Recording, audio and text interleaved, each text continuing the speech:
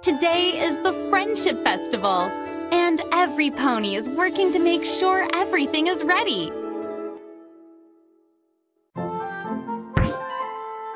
How could we be out of balloons? We still have five more balloon sculptures to create.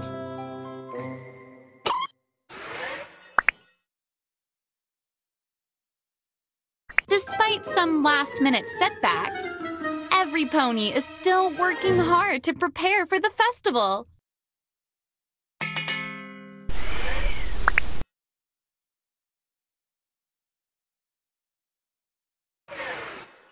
Oh no! That cake is heading straight for Princess Twilight!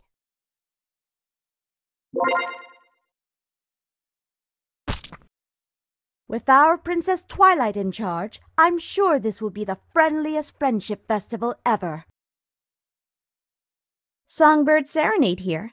Fabulous for now, but I won't stay fabulous. Songbird Serenade! Is it really you? I mean, of course it's you! Oh, I'm so flustered. Come this way and I'll show you the stage.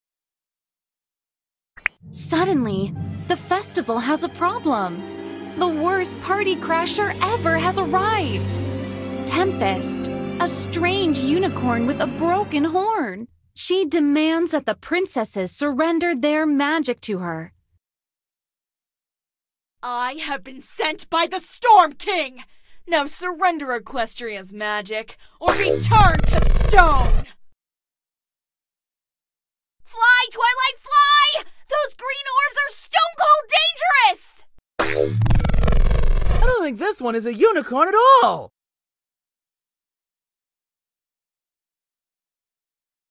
Go, Twilight! You must find the Queen of the Hippo! Ah! Three of the princesses are turned to stone. But Twilight and her friends cleverly evade Tempest Storm creatures by falling into a giant waterfall.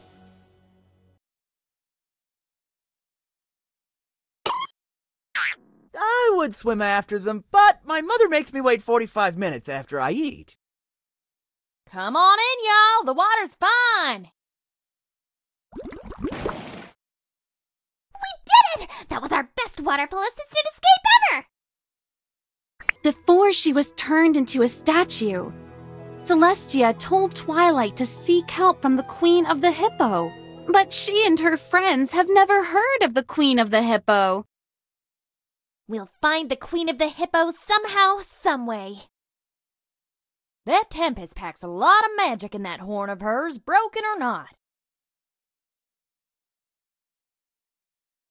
Okay, I guess going back to fight those storm creatures now might be a bit reckless. But one of these days, let me. I can't believe we're off on an expedition. I didn't even have time to properly pack. Tempest reports back to her leader, the Storm King, that Twilight has escaped. For now, Tempest vows to recapture her, so that the Storm King will keep his promise and restore her broken horn. I can't hear you with this lousy spell reception, but when I arrive in three days, my magical staff better be ready! I must capture Twilight! The combined magic of the four princesses is the only way to power the mystical staff of Sacanas. Okay, maybe we let the little pony and her friends get away, but the upside is look at all the scrumptious desserts they left. In search of the Queen of the Hippo, the ponies journey beyond Equestria and end up in a strange place called Klugetown. Luckily, they are rescued from a would-be kidnapper by the dapper and charming Capper. What's a nice filly like you doing in a place like this? I'm not 100% sure about this Capper fellow, but we could sure use a friend about now. Heidi ho, folks! Can any pony here tell us where the Queen of the Hippo lives? I don't know what's worse, that these low-down two-bit vendors think they can buy and sell us, or how low the prices are. While looking at some books at Capper's Manor, they discover they need to find the Queen of the Hippogriffs, not Hippo.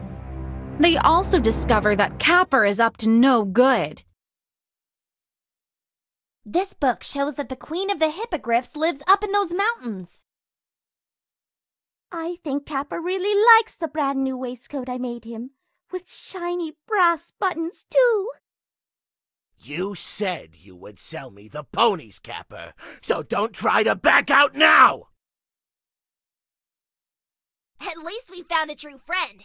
I'm so happy I could unleash a sonic rain boom! Capper is having second thoughts about selling the ponies due to Rarity's generosity and seeing their strong bond. Just then, Tempest arrives and it's time for another daring escape. Every pony jumps out the window onto a spinning windmill, which helps them get away. Don't let them get away again!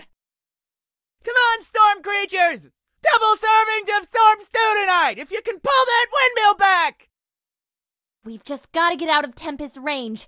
Broken horn or not, she's got strong magic. Let's take this windmill out for a spin. Or maybe that's a poor choice of words. They've escaped Tempest for now. But to get to the Hippogriff's home on the mountain, the ponies need an airship. Any airship. This one looks nice. Well, I'll hand it to y'all. A runaway windmill isn't all fired comfortable, but it sure is fast. I've been on prettier ships, but I guess fleers can't be choosers. With a sturdy airship like this, we'll be up the Hippogriff's mountain. Oh, looky! The crew is all dressed up as pirates! Oh, wait a second. Once upon a time, Captain Celaeno was a bold swashbuckler. But now she just goes by the book. And the book says throw stowaways overboard. Back in the day, I might have joined your adventure, but the rulebook clearly states stowaways get the heave ho. Wait, you gave up on being pirates just so the Storm King can make you run delivery errands for him? Thank goodness they took time for a lunch break before tossing us overboard. I was a mite hungry. Oh, Gru? Thank you so much, but I was really thinking of a nice fresh green salad with a raspberry vinaigrette dressing. The ponies inspire Captain Celaeno and her crew to start being awesome again. Rainbow Dash celebrates with a sonic rain boom. Oops! Now Tempest can see exactly where they are. You ponies are right. Being awesome is the only way to be. Oh no, that sonic rain boom can be seen for miles. Now that's what I call getting your mojo back!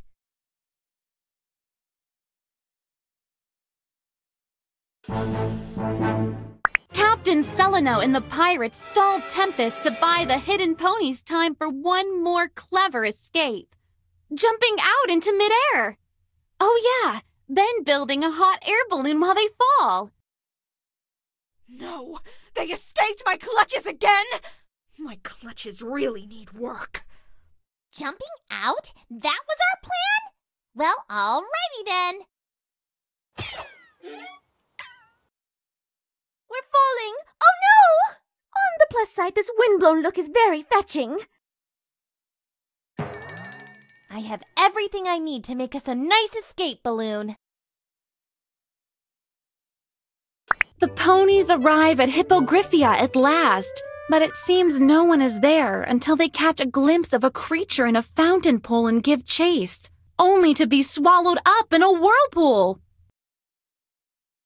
Look, someone just jumped in over here. We need to follow them. Well, this Hippogriffia place is definitely abandoned. I guess swimming out isn't the worst idea. This is really going to make a mess of my coiffure. I can't even. They are saved by Princess Skystar, a sea pony who quickly becomes a good friend and brings them home to her mom, Queen Novo. Running from the Storm King? I'm so glad I saved you! I am totally taking you home to my mom! I'm underwater. I am underwater. I'm in water. In fact, under it. Water, me, under. Any enemy of the Storm King is a friend of ours. Oh, a bubblehead! I can breathe, which is one of my favorite activities. Queen Novo doesn't trust strangers, but since they both dread the Storm King, she tells the ponies how she used a special magic pearl to transform her ponies from hippogriffs into sea ponies.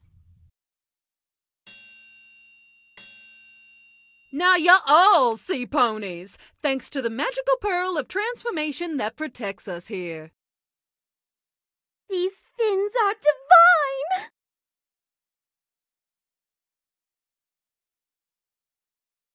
I don't feel like a sea pony. I bet Celestia sent us here hoping that Magic Pearl could help us fight the Storm King. Twilight asks to use the pearl to fight the Storm King.